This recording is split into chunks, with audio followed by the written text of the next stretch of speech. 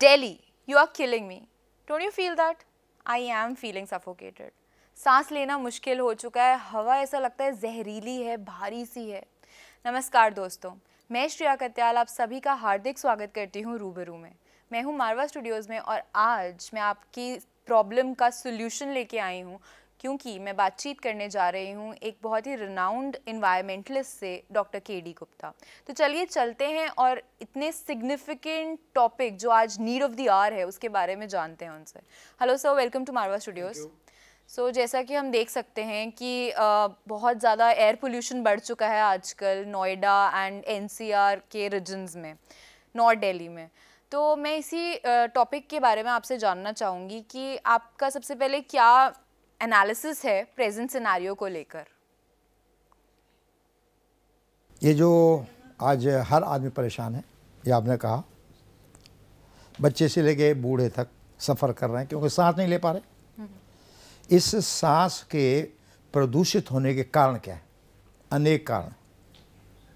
उनमें से पहले तो साल भर रहता है यहाँ प्रदूषण ज़ीरो से लेके फिफ्टी तक ही अच्छी सांस आपको मिल सकती है अगर 2.5 रहे तो। लेकिन ऐसा रहता नहीं है। कुछ महीनों के लिए जब बरसात हो रही थी तब ये कम हुआ था। Exactly exactly. लेकिन अब ये बढ़ करके 500 मोर देन टेन टाइम्स ये प्रदूषण बढ़ गया। अब आप इसमें कैसे सांस ले सकते हैं? ये तो पूरा मरने का इंतज़ाम है। डेफिनेटली बाहर निकलो तो आँखें जलती हैं गला मतलब गले में खराश सी है।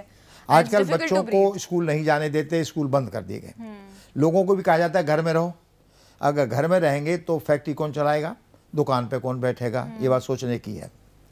सवाल यह है कि ऐसा हो क्यों रहा है? ये हमारा किया हुआ काम है। आज से सम दस पंद्रह साल पहले जिधर से ये पॉल्यूशन की जो हवा चल रही है उधर कभी ऐसा नहीं होता था। सर लास्ट ईयर भी ऐसी कंडीशंस थी। 2018 में भी हमने देखा है कि the scenario was same but this time it has exaggerated so इसमें आपका क्या नहीं इतना ही? इतना ही होता है। इन दिनों में अक्टूबर से लेकर के शुरुआत होती है। थोड़ा पहले 200 250 कभी कभी 200 से कम हो जाता है। हम्म। लेकिन इन दिनों में 500 से ऊपर कहीं तो 800 था। हम्म। कहीं 1200 तक रिकॉर्ड किया गया। एक जैसा नहीं होता है। हर शहर में भी ऐसा नहीं है। लेकिन क्योंकि जी नॉर्थ इंडिया में जितने भी राज्य आते हैं सब में आज प्रदूषण है। अब मैं उस बात पे आपको बताना चाहूँगा कि हो क्यों रहा है। पहली बात तो यह है कि कंस्ट्रक्शन एक्टिविटी सड़कों की हालत बड़ी ख़राब ट्रांसपोर्ट का नंबर बढ़ गया। इन दिनों में हवा की स्पीड कम हो जाती है। ठंड भी पड़ने लगती है जिसको आप कहते हैं ना फॉग बन जाता है। Right right. स्मॉग हाँ। वो फिर तो है ही नहीं, वो, वो तो फॉग होता है फॉग और स्मोक मिल करके स्मोक बनता है।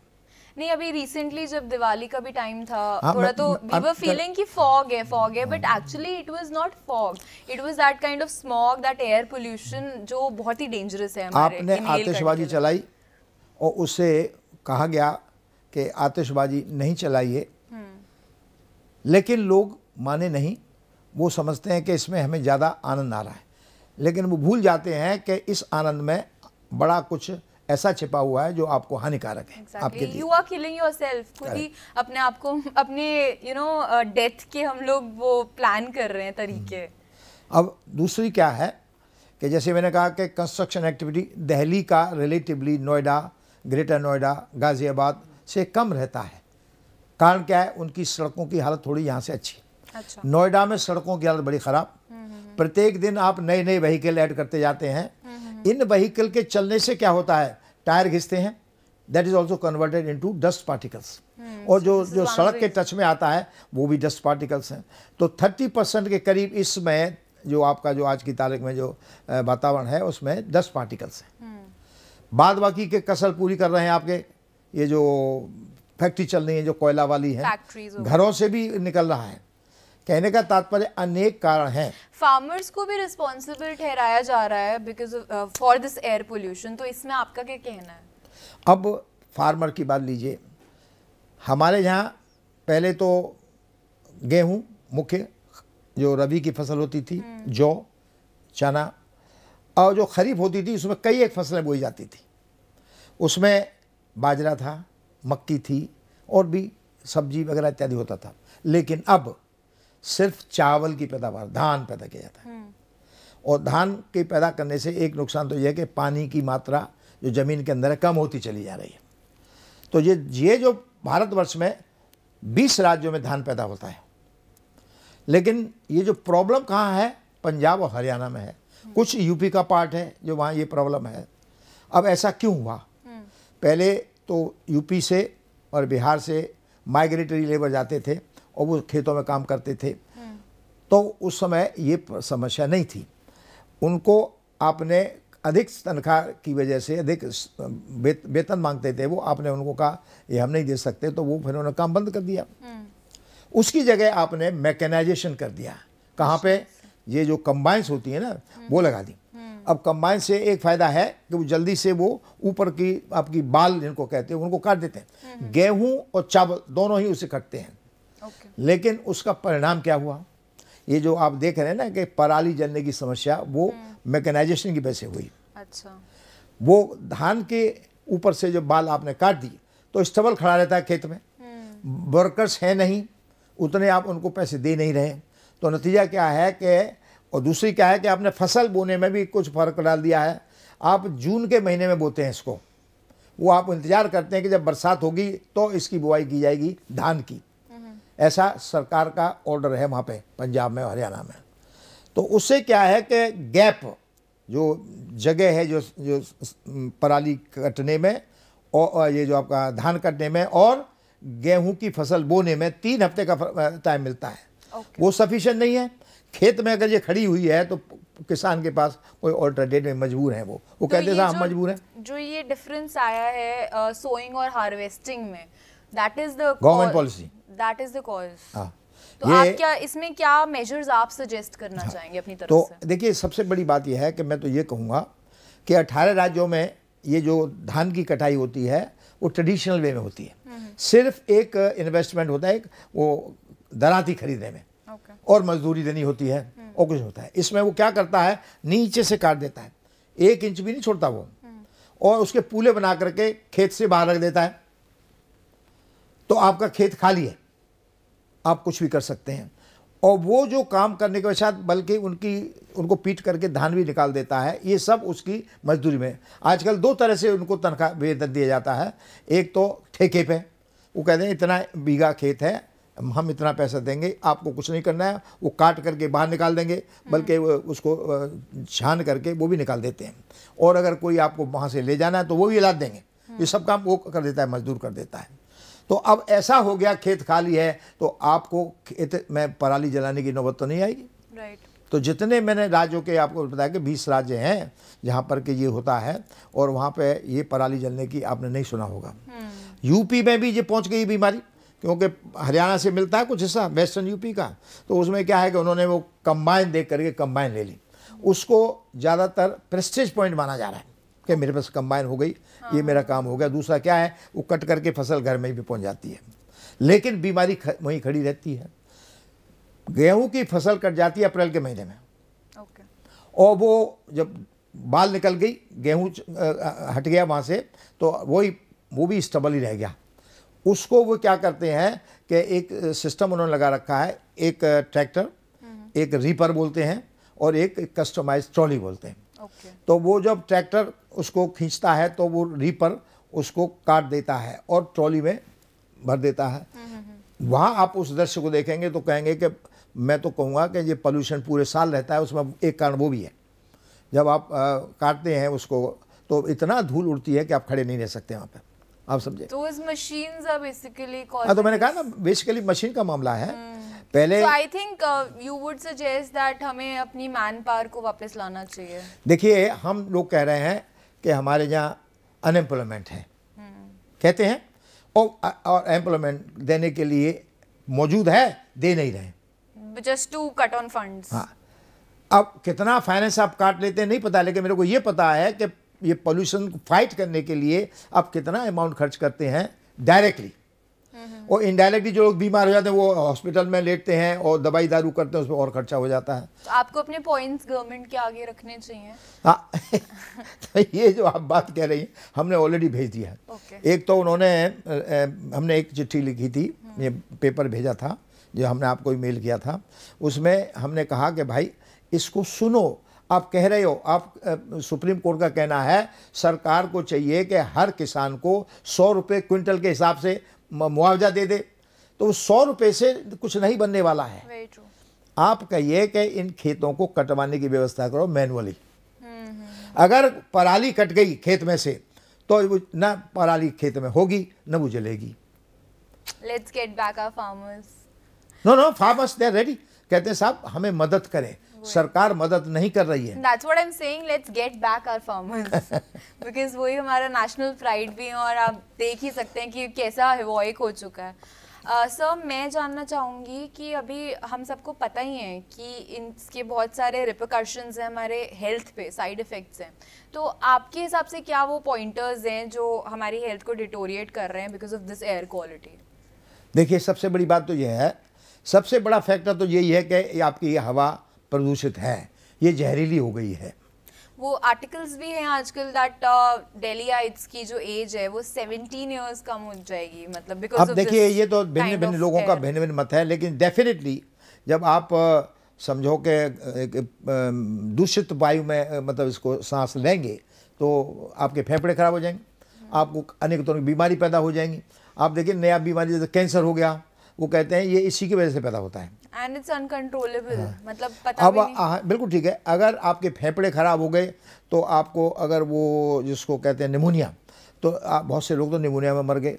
कुछ लोगों को दमा की बीमारी होती है जो दमा से सफ़र करते हैं वो तो बनी जाते हैं। बेचारे बचते नहीं हैं। तो मेरा कहने का मतलब ये तो एक इशू है लेकिन हमारा जो ध्यान होना चाहिए कि इसको जो पैदा हो रहा है जो उसकी अ, मतलब जननी है उसी को पहले चेक कर लो। तो फिर अगर प्रदूषण हवा में नहीं होगा, और प्रदूषण कब होता है? वो अक्टूबर में शुरू होता है। इससे पहले नहीं था। लेकिन अब जैसे ही अक्टूबर में पराली जलनी शुरू होती है तो आपने सिडनी में देखा? फॉरेस्ट जल गए, और वहाँ पे वही हालत पैदा हो गई जो हमारे यहाँ थी। उनको भी सांस नहीं ली जा रही थी।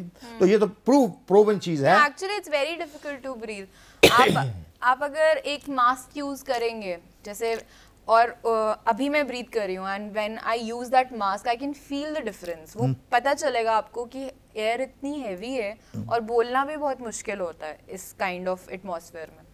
सो so, ये सब तो हमने टेक्निकल चीज़ें डिस्कस करी जो बहुत uh, एक ड्रॉबैक है कि एयर पोल्यूशन इतना ज़्यादा हो चुका है।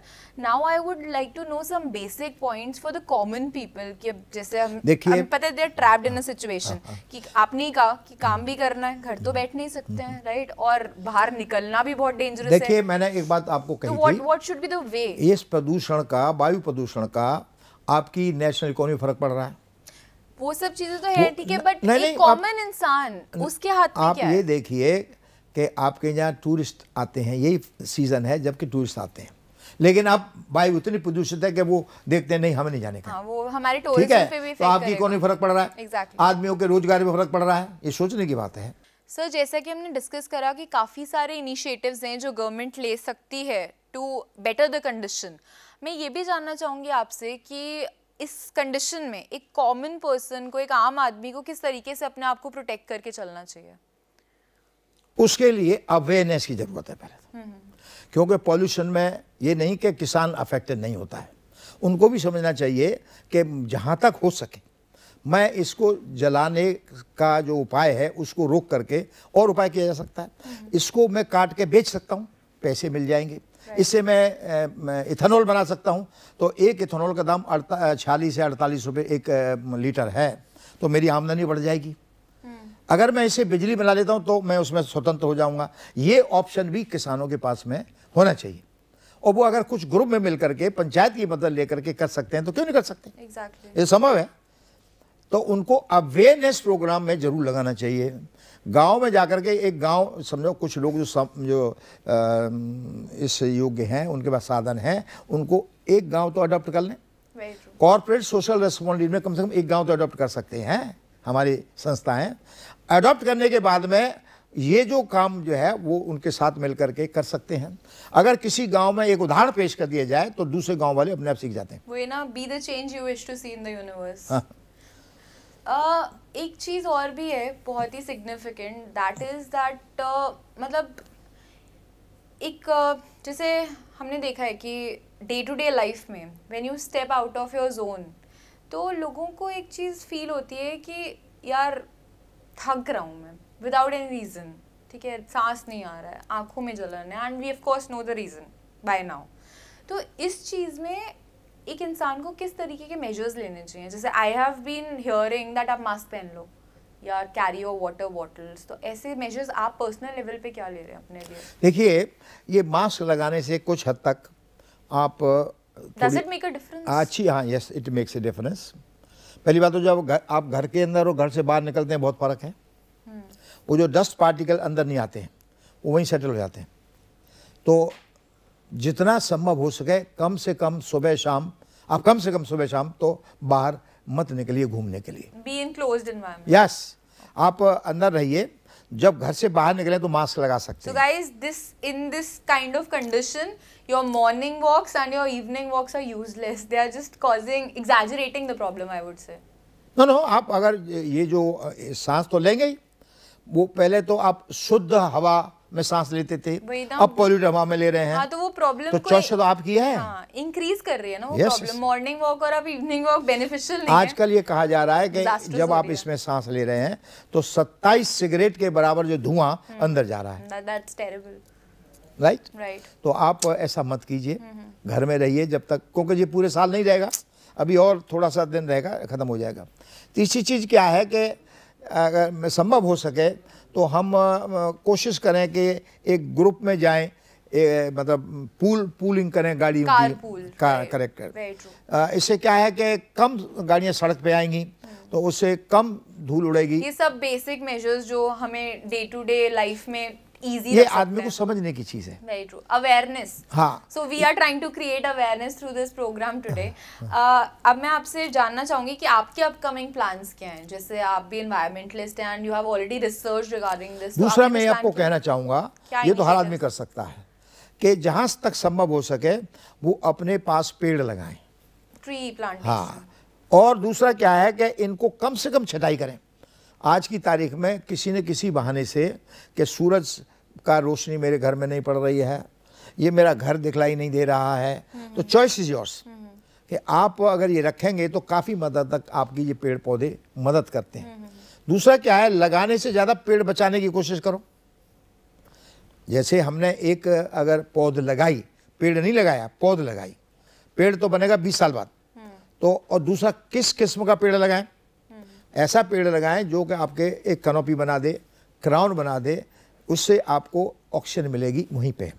और अगर ज़्यादा मात्रा में पेड़ होंगे तो ज़्यादा ऑक्सीजन बन सकती है। So guys putting energy